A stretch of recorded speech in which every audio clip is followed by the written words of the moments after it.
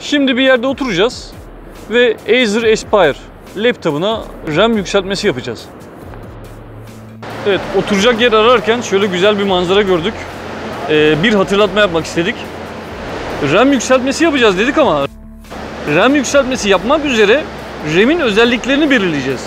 Tabii ki sonrasında da RAM'in özelliklerini belirledikten sonra sipariş verip RAM alacağız. Ardından RAM yükseltmesini de yapacağız. Göksu Nehri'nden de selamlar. Evet, RAM yükseltmesi yapacağımız bilgisayarımız bu. Şöyle model numarasını gösterelim.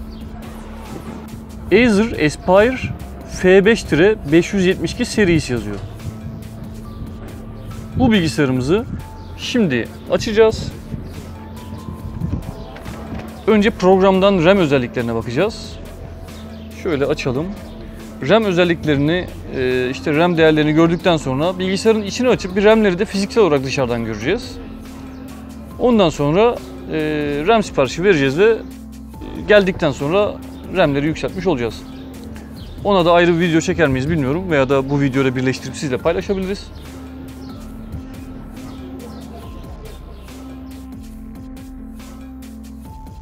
Oturduğumuz kafede müzik sesi çalmaya başladı. Telif sorunu olabileceğinden dolayı şimdi ben bu ortam sesini size veremiyorum. Ayrıca bir ses kaydı yapıyorum. Sys Software Sandra Lite programını açıyoruz. Bu programda bilgisayarın içinde daha önceki videolarımda da gösterdiğim gibi hayalet gibi gezebiliyoruz. Yani bilgisayarın içindeki bütün parçaların, ekran kartı, RAM, işlemci, aklınıza gelebilecek her şey hakkında bilgi elde edebiliyoruz. Ve bunlar çok ayrıntılı bilgiler. Şimdi biz burada RAM özelliklerine bakıyoruz. Bilgisayarımızın maksimum RAM kapasitesi, bilgisayara alacağımız yeni RAM'in hangi özelliklerde olmaları gerektiği, mesela RAM'in çalışma frekansı, mesela RAM'in çalışma voltajı vesaire bu özelliklere bakıp ona göre uygun RAM siparişi vereceğiz.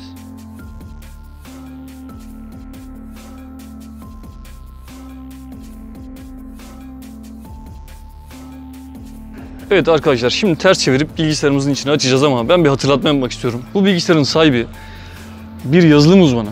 Şu an telefonunu kurcalayan arkadaş. Bir yazılım uzmanı. Yani kendisine saldırmaya kalktığınızda eğer 3-4 saniyede saldıramayacaksanız, 10-15 metre öteden koşuyorsanız e, elindeki telefonla ya da masasındaki bilgisayarla bir yazılım yazıp sizi etkisiz hale getirebilir. O kadar iyi bir yazılımcı. E, bu eğer şaşırtıcı diyorsanız hayır bu şaşırtıcı değil. Şaşırtıcı olan şey bu kapasitedeki bir yazılımcının bilgisayarda RAM değişikliği yapmak için benden yardım istemesi. Bir vida sökemeyecek kadar aciz arkadaşlar.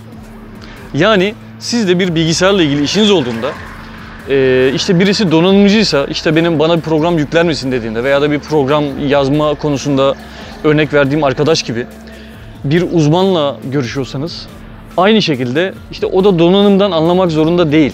Bunlar birbirinden farklı şeyler. E, lütfen bunu iyi ayıralım. Ama ben bu kadarının olacağını düşünmüyordum. Yani bir RAM değişikliğini bile yapmak için e, birinden yardım alacağını hiç düşünmezdim. Çünkü hakikaten çok çok iyi bir yazılımcı. Bir uzman kendisi. Bilgisayarımızı ters çevirdik. Vidalarını sökmeye başlayacağız. Ancak ben daha önce bir hatırlatma yapmak istiyorum. Her bilgisayarda aynı değil. Ancak bu bilgisayarda, şuradan tornavidayı alayım. Komple kapak açılıyor. Yani RAM için ayrı bir şöyle yuva yapmamışlar. Bütün kapağı açtıktan sonra RAM'lere ulaşmak mümkün. Sadece DVD-ROM'u çıkartmak için şuradaki vidayı sökmek yeterli. Yani şöyle tatbik edelim. Bu arada ben bir elimle çekim yaparken bir elimle de vidayı açıyorum. Çünkü arkadaşım telefonunu kurcalıyor. Bana yardımcı olmuyor.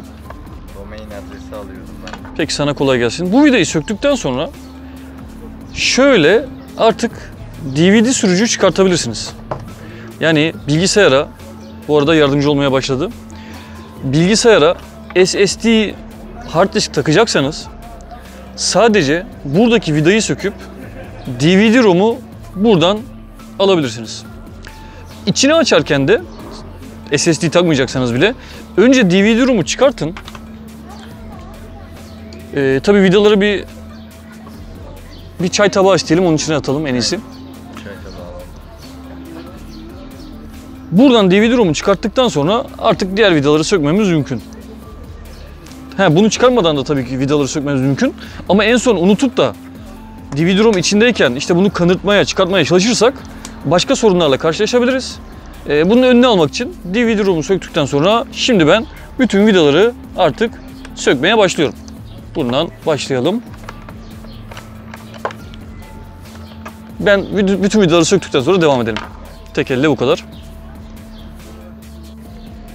Evet, son vidamızı da söktük ve yerine atıyoruz. Vidalarımız şöyle çay tabağımızda. Artık kapağı açmaya hazır. Bakalım zorlanacak mıyız?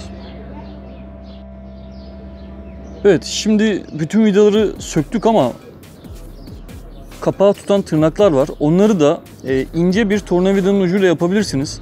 Biz biraz kasapça hareket ederek elimizde olan gösterir misin? Çakıyla bu işi yapacağız. Şöyle çakıyı gösterelim. Evet. Köşeden açmaya başlayalım. Lütfen siz sakat yapmayın bu işleri. O tırnakları açmak için. Evet. Bu şekilde zaten gerisi gelecektir. Açabilirsiniz. Evet şimdi kapağı tamamen araladık. Yalnız önemli bir husus var. Şuradan biraz kaldırır mısın kapağı? Bunu aniden kaldırırsanız netleştirme yapmam gerekiyor.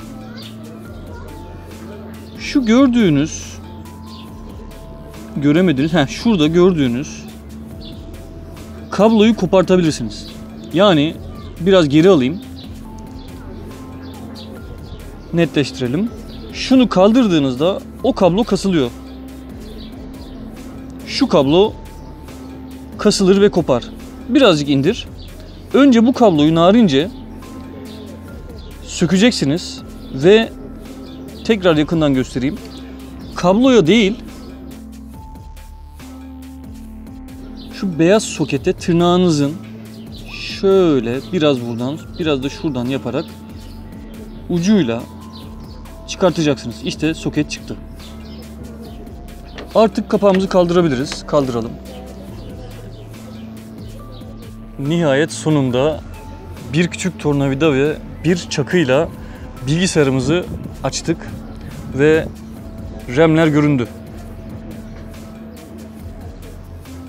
RAM'leri inceledikten sonra bilgisayarı aynı sökmede gördüğünüz işlemlerin tam tersini yaparak kapağını kapattık. Bütün vidaları vidaladık. Sadece DVD-ROM'u takmadık. Onun için arkadaşım devreye girmek istedi. Bunu ben takabilirim dedi. Bakalım yazılım uzmanı arkadaş bir vidayı çevirmekten aciz mi yoksa gerçekten bunu takabilecek mi? Şimdi bunu göreceğiz. Evet kadar zor olmadı. yerine yerleştiriyor. Evet çok buraya kadar çok başarılı. Ve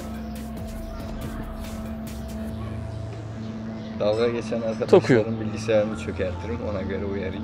evet lütfen yorumlara dalga geçme yazmayın. IP'nizi bulur. Yani inanılır gibi değil, zehir gibi. Beni e, yazılımcılık konusunda çok şaşırttı geçmişte. Yani benim inanamadığım bazı şeyler oldu.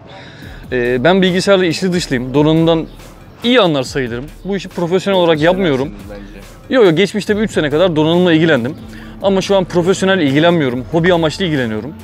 Ee, buna rağmen yani bilgisayarla içli dışlı, içli dışlı olmama rağmen bu arkadaş beni yazılım konusunda öyle bir şaşırttı ki ya bu olabilir mi dedim yani. Belki bununla ilgili bazı şeyleri, hepsi olmaz ama bazı şeyleri de sizle paylaşabiliriz. Bu arada başarılıydı, tebrik ederim. Zor değilmiş değil mi? Yok çok zor değilmiş. Evet.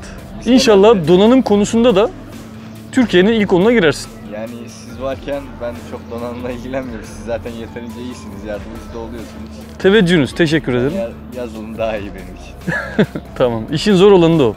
Tamam. Sosyal bir ortamda Acer Aspire bilgisayarın kapağının nasıl açılıp kapatılacağı ve nelere dikkat edileceği, RAM seçimi yapılırken nelere dikkat edileceği ve ne şekilde bir RAM seçimi yapılacağı hakkında bilgi vermeye çalıştık. Umarız yardımcı olabilmişizdir. Herkese iyi günler.